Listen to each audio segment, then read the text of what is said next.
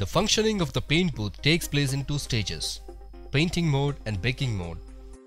In painting mode, the damper positions are kept like this to allow the air from outside through pre-filters.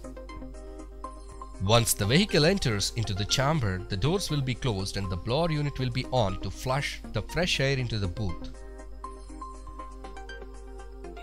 Pre-filters arrest the dust up to 10 microns.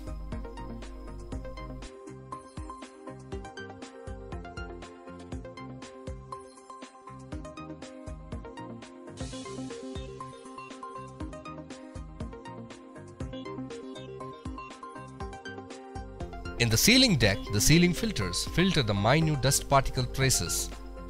The dust-free air enters the chamber.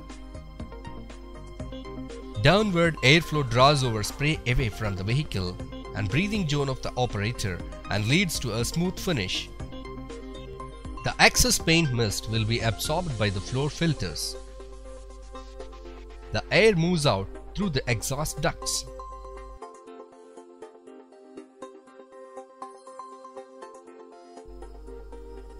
Once the painting is done, the damper positions are changed and the diesel burner will be on.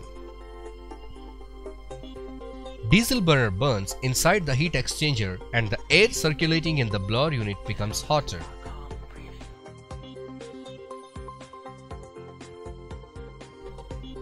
This hot air is made to circulate through the booth and the blower unit.